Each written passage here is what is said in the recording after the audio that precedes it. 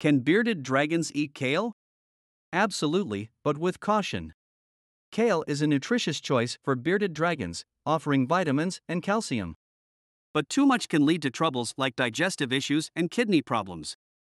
To keep your dragon healthy, use kale as a treat, not the main meal. Balance their diet with other veggies and fruits, and always wash and chop before serving. Read more information by going to the link in the description.